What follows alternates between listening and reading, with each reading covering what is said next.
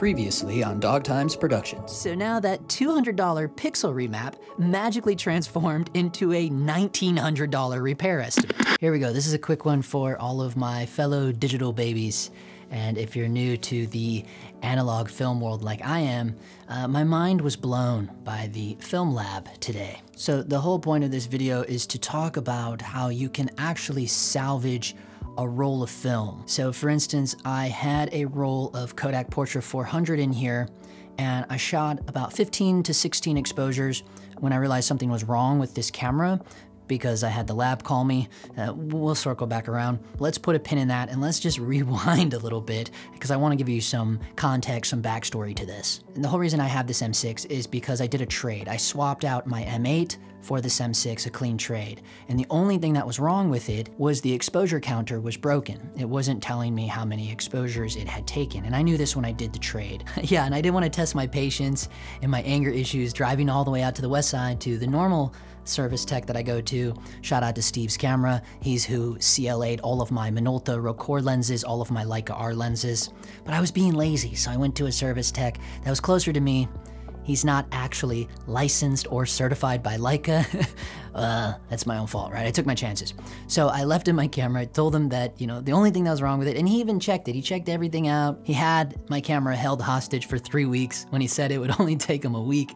Anyways, uh, when I go to pick it up three weeks later, yeah, the exposure counter was working, but now the meter wasn't working. So while fixing the counter, he broke the meter.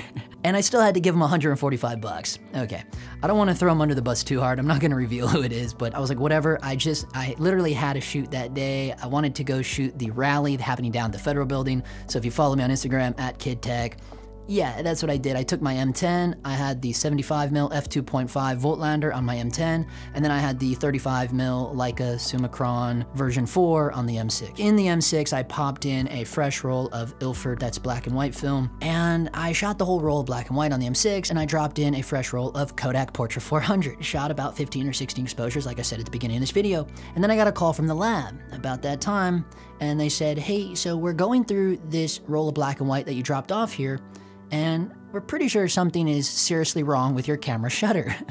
I said, well, what's going on? They said, well, only six of the pictures came out, and they're pretty, they're pretty crunchy, they're pretty underexposed, and the rest of them, uh, none of them came out. And I said, well, what, did I just like severely underexpose the whole roll? I mean, it's very possible the meter was broken, you know? And they said, no, no, no, we definitely know there's something wrong with the shutter because the middle of the image is completely black. We can see the edges of all the frames, but we can't see the middle. So the timing of your shutter is off. Something's broken on your shutter. I said, oh boy. So now it's clear to me this guy that fixed the exposure counter did way more damage than just breaking the meter, right? So now I was like, oh my God, dude. And keep in mind, this is an M6 Classic. This specific one was made in 1985. So I was already worried that there's no longer parts for the meter in here. So now I had issues with the shutter. Now we're all caught up, right? So I was like, shoot, I only had a third of that Portra 400 uh, exposed, so I just hit the rewind button, I rolled it up, I said whatever. And then I took it over to Steve's camera in Culver City, and then he showed me, because he has one of these taken apart for display, and he showed me on the inside, the exposure counter is connected to the shutter, it's connected to the shutter release, it's also connected to the meter. So it's all one piece, it's all connected. So if you don't know what you're doing and you think you're fixing one thing, but when you're doing that, you're clearly breaking everything else that it's connected to, which is what happened with this other guy. And he looked at me, Steve looked at me and said, did he did he charge you? I said, yeah, 145 bucks. And he just shook his head and looked down at the ground. you know, it's like, oh no, then you know you're in trouble. But Steve being Steve, man, within a week, he had this thing pristine, tip top shape. He had the meter fixed. The shutter was working again the, the exposure counter was working, and he even did a what they call the MP upgrade. So now I have the um, nice new fresh rangefinder window that's on the newer MP cameras, so it doesn't have a wicked glare issue, which a lot of the older M6 Classics have. But however, I still had that roll of Kodak Portra 400 where I thought, well, you know, 20 exposures I just lost. Since I got it back from Steve's, I shot a whole roll of Phoenix 200, and I also shot a whole a whole nother roll of Kodak Portra 400. So when I go back to the lab drop off the Phoenix and the new full roll of Kodak Portra. I had that little half roll with me. I asked him if there is there any way to salvage this roll. this is where all of my hardcore film guys are gonna call me an idiot and laugh and stuff. I had no clue of this. So if there's any uh, other you know digital babies like myself, you know I grew up in the digital world. I don't have a whole lot of experience shooting film. He asked me, he goes, well, how did you pop the film out? Did you just pop it out? And I said, no, no, no, I wound it and, you know, just like I shot the whole thing. And he said, well, yeah, you, you, can totally do it. And he, he, he popped the film a little bit and he pulled a little bit of it out like it would look when you first get a fresh new roll. And he goes, just go home, pop this in your camera, put your body cap on or your lens cap, it doesn't really matter. And then just to be safe, you know, set your shutter speed to like the fastest it'll go. So on the M6 Classic, that's one over 1000. And he goes, uh, and then just start firing the shot and watch your counter. If you remember, it was 15 or 16 exposures. Just shoot those blanks, ba ba ba ba ba, all the way up until you hit exposure 17. You can expose the rest of that roll. And in my head, being a digital baby, I'm like, what? I was like, won't it won't it like overwrite the those 15 or 16 shots and won't it turn them black because the body cap's on? And he's like, no, dude, it's film. He's like, you need light to expose. He goes, you could take a whole fresh roll of film, drop it in your camera, and if the lens cap is on and, and you know you're just blah, blah, blah, blah, blah, you could shoot the whole roll and you'd bring it to me to the lab and it would the entire roll would be transparent. I'm going, oh, wow, it was such a mind blown moment. We know if I take my M10 and I take a bunch of shots with the body cap on, you're gonna have black exposures because the body cap's on. So it was just like, wow, I know that's a completely dummy thing, but if there's anyone else out there as new to film as I am, I thought maybe you'd like to know that. You can salvage your roll. Uh, it's also fun if you wanna do double exposures, right? Like I thought of that. I'm like, hmm, that's interesting. I do plan on doing a review of the Phoenix 200 uh, because that's this weird new film. It's kind of punchy. You know, shout out to Jason Lee at Eagle Rock Camera. I've been there a few times. I love going there. He's he seems to always be there when I go in to buy something. He even has uh, ran the register one time, but he always uh, talks to everyone. It's amazing, amazing, cool dude, super laid back. And I asked him, uh, you know, I'm looking for something really funky, and that's when he showed me that Phoenix 200. Did shoot a whole roll of it for the documentary series that I've been working on.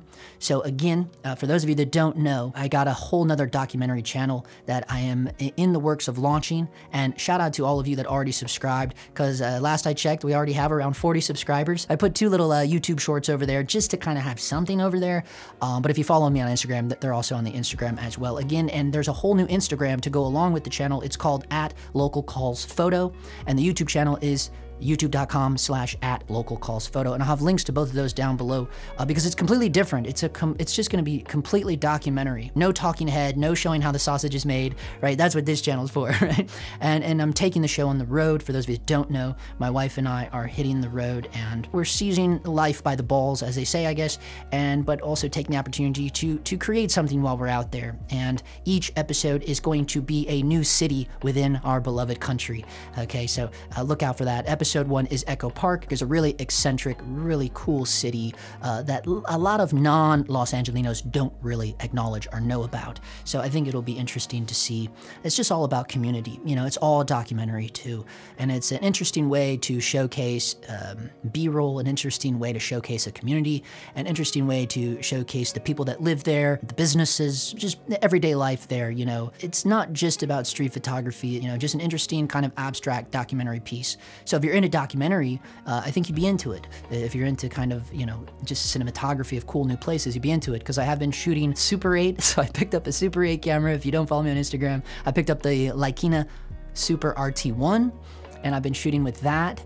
And uh, of course, I'm always shooting on the Sony FX30 with the big Sony servo zoom, my favorite lens of all time uh, that I've done a full video on, the, the 28 to 135. So I'm kind of shooting all mediums, the M10 with the M6. And because I started working on this episode way back in January, there's even stuff with the RX1 R Mark II and the M8 and so it's kind of all over the place and a lot of interesting audio being captured as well. So I don't know what to say, just check it out. And for all of my film uh, aficionados, the pros out there, I hope you had a good laugh out of this. Okay, uh, thanks for watching. If you're new here, please consider tapping that subscribe button because things are gonna get a lot different here. This world, I'm leaving this office that I've been living in for, I don't know, well over seven years now. Uh, we're getting out of here and it's gonna be on the road. So it should be interesting. This channel will continue to do some interesting fun reviews, talk all kinds of whatever nonsense. We talk about cinematography, lighting, photography, everything we do, but also it'll be an interesting kind of behind the scenes of how uh, we're making this crazy documentary that we're doing. so uh, yeah, and then on the on the flip side to that, my wife is going to be doing a whole nother different kind of series of her own about the RV life and living in an RV while trying to you know create some some art, some documentary, if you will. So there'll be all these weird little channels around going on. I don't know exactly what we're doing, but we, we got a little bit of an idea of it. But I think it's much like my life; it just kind of evolves as we go, and uh, that's the fun thing about it. Um, I, I don't like to sit stagnant, and that's really what it boils down to. Okay, uh, thanks for watching. if you're new here, you're like, holy cow, what's going on? Uh, I appreciate you watching the whole video, and um, we'll see you whenever we see you. Maybe by the time you see me, uh, maybe we'll already be out of here. We only got a couple weeks. The, the deadline is on. Thank you. Thank you. Thank you. Thank you. They have awesome drag races here in Glendale. It's so cool. And they race right here where little kids run and play. It's so awesome. It's so, so cool. It's so, it really shows the size of the genitalia. Of, I mean, if you really want to show off, like, uh, you know, and be really cool and let the world know how tiny your member is, just come out here and drag race in Glendale where all the kids play.